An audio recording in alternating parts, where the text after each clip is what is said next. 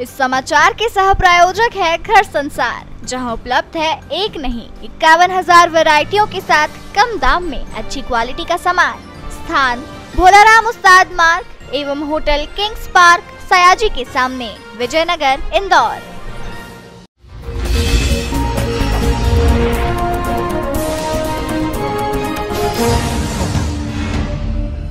आज एक पत्रकार वार्ता में वरिष्ठ अभिभाषक व पूर्व मीडिया पैनलिस्ट, पूर्व सचिव मध्य प्रदेश कांग्रेस कमेटी के प्रमोद कुमार द्विवेदी ने बताया कि मीडिया में खबर आई थी कि सांची दूध में केमिकल की मिलावट की जा रही है।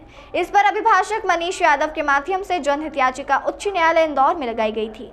याचिका की सुनवाई के दौरान दोनों पक्षों को सुनने के बाद याचिका पर फैसला सुरक्षित रखा गया था। माननीय न्यायमूर्ति सतीश चंद्र जी, वीरेंद्र सिंह जी ने फैसला सुनाया था। प्रमुख सचिव खाद्य एवं आपूर्ति मंत्रालय सचिव कमिश्नर खाद्य आपूर्ति को दुग्ध की शुद्धता सुनिश्चित करने के लिए हर महीने दूध संघ में बाहर से आने वाले दूध के सैंपल लेकर जाँचे। शुद्धता जाँच सख्ती से करे। द्विवेदी ने आरोप लगाया की जाँच केंद्र ही अब बना है। अन्यथा जाँच पहले भोपाल जाती है। सरकार की गंभीरता समझी जा सकती सकती है। बीमारियों का दावतनामा भेज रही है। आम आदमी के जीवन से सरकार खेल रही है। अठारह साल से सरकार बताए कितने मिलावटखोरों को सजा मिली। मुहिम कब तक चली, कब कब चली, कितनी चली? मावा हो, दूध हो, दूध से बने उत्पाद हो, तेल, खाने का सामान, सब मिलावटखोरों की गिरफ्त में है और वे भाजपा सरकार व भाजपा नेताओं की गोद में है। के दूध को लेकर के समाचार प्रकाशित हुए थे। उन समाचार पत्रों के आधार पर मैंने जनहित याचिका अभिभाषक मनीष यादव के माध्यम से लगाई थी। उस जनहित याचिका में 13 अक्टूबर सन 2018 को माननीय उच्चतम न्यायालय उच्च न्यायालय के न्यायमूर्ति आदरणीय सतीश चंद जी एवं बीरेन्द्र सिंह जी ने फैसला सुनाया था कि प्रमुख सचिव मध्य प्रदेश खाद्य एवं आपूर्ति मंत्रालय, सचिव कमिश्नर खाद्य एवं आपूर्ति ये सभी अधिकारी सांची दुग्ध संघ में जो बाहर से दूध आ रहा है, वो दूध शुद्ध है। उसकी शुद्धता की जाँच करने के लिए सैंपल नियमित रूप से हर महीने लेंगे।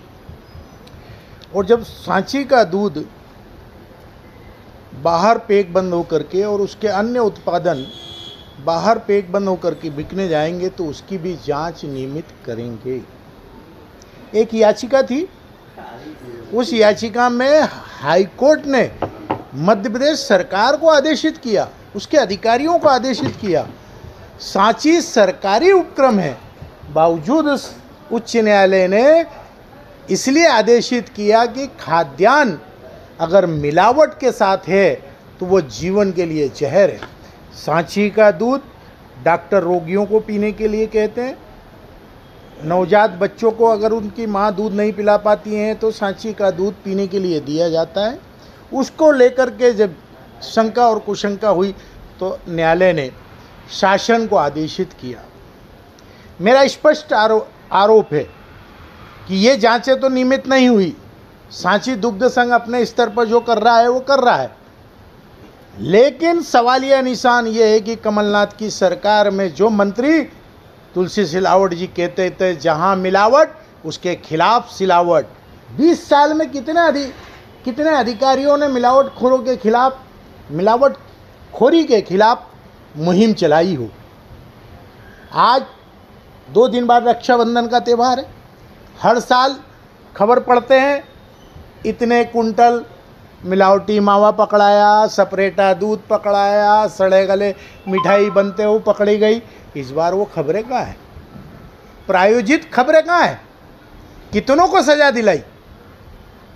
आज आप अस्पताल में जाएँगे, चारों तरफ़ गंदे और दूषित पानी के लिए।